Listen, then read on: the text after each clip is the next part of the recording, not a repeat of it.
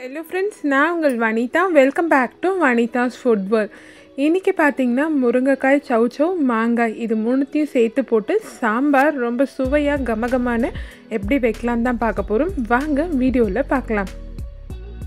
இதுக்கு ஒரு டம்ளர் அளவுக்கு துவரம்பருப்பு எடுத்துக்கோங்க. பருப்போட அளவு இரநூறு கிராம். இது நல்லா ரெண்டுலேருந்து மூணு முறை வாஷ் பண்ணிவிட்டு எந்த டம்ளரில் வந்து பருப்பு அளந்தீங்களோ அதே டம்ளரில் ரெண்டரை டம்ளர் அளவுக்கு தண்ணி சேர்த்துக்கோங்க. இப்போ இது கூடவே வந்து அரை டீஸ்பூன் அளவுக்கு மஞ்சத்தூள் சேர்த்து எல்லாத்தையும் ஒரு சேரை வந்து நல்லா மிக்ஸ் பண்ணிக்கோங்க. மிக்ஸ் பண்ணிக்கிட்டு குக்கரை க்ளோஸ் பண்ணிவிட்டு எட்டுலேருந்து பத்து விசில் போல் விட்டு எடுத்துக்கலாம். இந்த அளவுக்கு விசில் விட்டால் தான் பருப்பு நல்லா மைய வரும். இப்போ இதை பருப்பை வந்து ஒரு பாத்திரத்தில் போட்டு மத்து வச்சு நல்லா கடைஞ்சி எடுத்து வச்சுக்கோங்க. நான் வந்து சாம்பாரை குக்கர்லேயே வச்சிடுறேன். எண் ரெண்டு டேபிள் ஸ்பூன் போல் எண்ணெய் சேர்த்துக்கோங்க. எண்ணெய் நல்லா சூடானதும் அரை டீஸ்பூன் கடுகு. கடுகு நல்லா பொரிஞ்சதும் அரை டீஸ்பூன் ஜீரகம் ஜீரகம் நல்லா பொரிஞ்சதும் எட்டு பல்லு பூண்டு தோல் நீக்கிட்டு தட்டி சேர்த்துக்கோங்க. கூடவே ரெண்டு கொத்து கருவேப்பிலை சேர்த்து பூண்டு நல்லா பொன்னிறமாக வர வரைக்கும் வதக்கிக்கோங்க. இப்போ இது கூட ஒரு பெரிய சைஸ் வெங்காயம் எடுத்து பொடி பொடியாக நறுக்கி சேர்த்துக்கோங்க.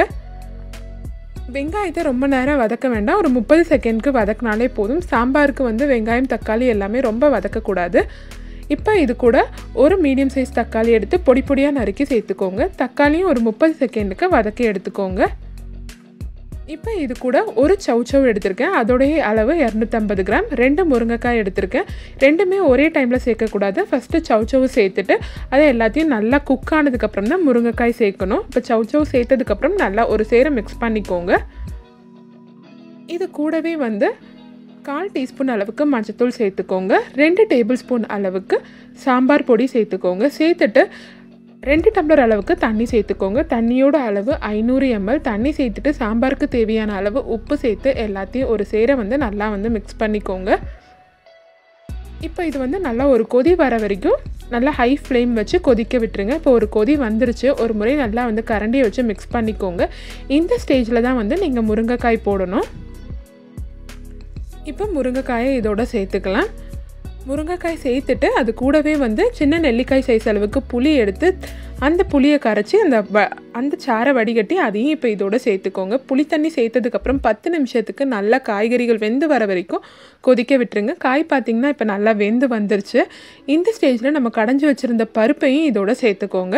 இது கூடவே வந்து ஒரு டம்ளர் அளவுக்கு தண்ணி சேர்த்துக்கோங்க. பருப்பு சேர்த்ததுக்கப்புறம் பருப்பு கொஞ்சம் கெட்டியாக இருக்கும். அதனால் கொஞ்சமாக தண்ணி சேர்த்துக்கோங்க. உங்களுக்கு சாம்பார் கெட்டியாக வேணும்னா நீங்கள் வந்து தண்ணியை வந்து கூட்டி குறைச்சி சேர்த்துக்கலாம். இந்த அளவுக்கு இருந்தால் கரெக்டாக இருக்கும் கன்சிஸ்டன்சி உங்களுக்கு தகுந்தாற்போல் நீங்கள் சேர்த்துக்கோங்க. பருப்பு சேர்த்ததுக்கப்புறம் நறுக்கி வச்சுருந்த மாங்காயும் இதோட சேர்த்துக்கோங்க. மாங்காயோட நடுப்பகுதி அதாவது விதை பகுதியை நீக்கிட்டு மாங்காய் சேர்த்துக்கோங்க. மாங்காய் சேர்த்ததுக்கப்புறம் அஞ்சு நிமிஷத்துக்கு நல்லா கொதிக்க விடுங்க. அப்போ தான் மாங்காய் நல்லா வெந்து வரும். ஆஃப் பண்ணுற ஸ்டேஜில் வந்து அரை டீஸ்பூன் போல் பெருங்காயத்தூள் சேர்த்துக்கோங்க. பெருங்காயத்தூள் சேர்த்துட்டு ஒரு ரெண்டு நிமிஷத்துக்கு நல்லா கொதிக்க விட்டுட்டு ஸ்டவ்வை ஆஃப் பண்ணிவிட்டு அது மேலே நறுக்கின கொத்தமல்லியை தூவி ஒரு முறை கிளறி விட்டிங்கன்னா கம கமான சவு சவு சவ் மாங்காய் முருங்கைக்காய் போட்ட சாம்பார் வந்து தயாராகிடுச்சு இன்றைக்கி நான் செய்த இந்த ரெசிபி உங்களுக்கு பிடிச்சிருந்ததுன்னா லைக் பண்ணுங்கள் ஷேர் பண்ணுங்கள் அண்ட் மறக்காமல் நம்மளுடைய சேனலை சப்ஸ்கிரைப் பண்ணுங்கள் தேங்க்ஸ் ஃபார் வாட்சிங்